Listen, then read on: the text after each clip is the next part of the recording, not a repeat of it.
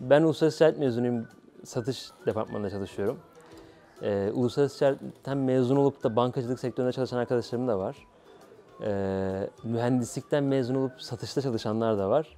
Ee, buna ilave olarak da mesela sanat tarihi okuyup da satış alanında çalışan arkadaşlarımız da var. O yüzden kişinin kendini geliştirmesi, kendi özellikleri, aktif olması e, ve sürekli bir hedefe koşması önemli.